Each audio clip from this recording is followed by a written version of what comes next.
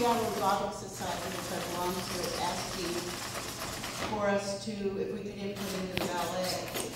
And I had a bunch of heads possible, large and small, that can do like sixty movements, dances and stuff, so I got something to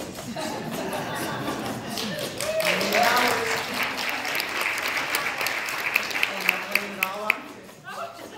Oh my God. Um, so in addition to Max, who is performing for you right now, this is about a two-minute choreographed piece. Um, we also have it synced to music, but we chose to show it without this afternoon. There you go. In addition to Max, out in the lobby, we have a few of Max's friends that you can see up close and personal.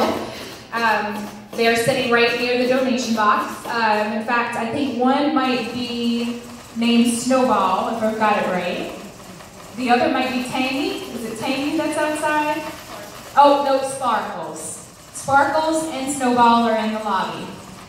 And we have our 3D printing demonstration, which is helpful because it shows you guys exactly how a creation like this comes together and the material that it uses, which is a filament.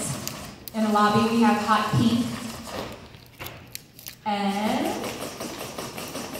Max is doing his finale right now for you guys.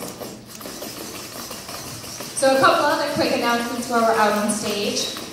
I'm going to draw your attention back to your programs. If you notice that puzzle, everybody clap. That was it.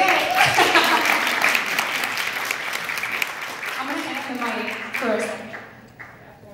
Show you. In your book.